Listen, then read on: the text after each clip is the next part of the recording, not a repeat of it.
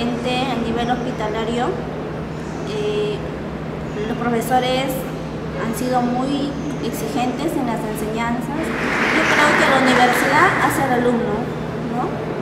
pero el alumno también hace a la universidad porque nosotros somos quienes brindamos ese conocimiento a otras personas, brindamos el cuidado necesario a los pacientes, por ejemplo, en los hospitales, ¿no?